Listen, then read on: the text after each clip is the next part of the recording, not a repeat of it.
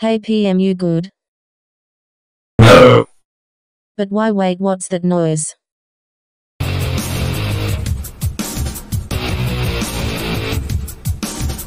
GRR or whatever.